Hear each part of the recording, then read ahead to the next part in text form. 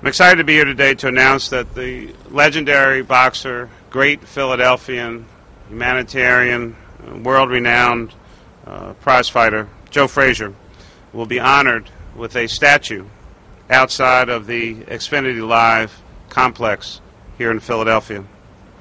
This is a fitting tribute for a true Philadelphia icon. Joe Frazier was undoubtedly one of the greatest heavyweight champions ever in history.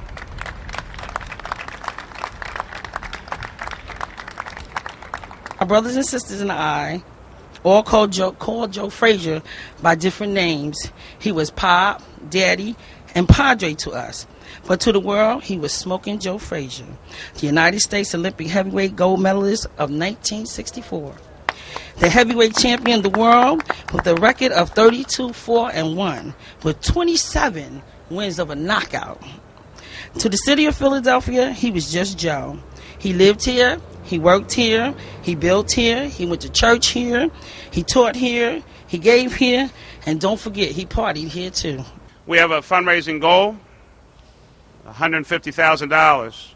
That includes a maintenance fund for upkeep. It's not enough just to put up a statue in great tribute to someone who is deserving.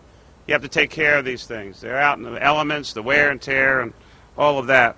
In order to get this project off to a great start, uh, Xfinity Live is donating $25,000 to jumpstart the, pro- the, uh, the collections for this statue.